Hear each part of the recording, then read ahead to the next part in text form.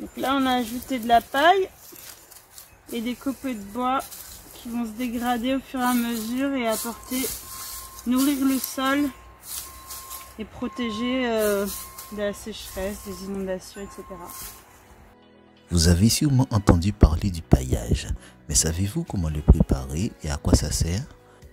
Pour un paillage végétal ou organique, on peut utiliser du broyat de bois, des feuilles mortes, de l'herbe coupée, de la paille, des coques de fruits secs.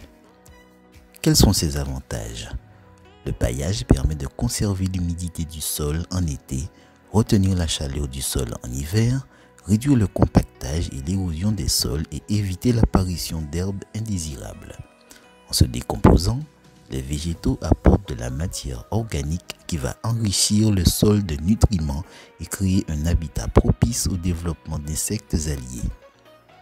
Les plantes qui redoutent l'excès d'humidité, préférez un paillage minéral, ardoise, briques, gravier, billes d'argile.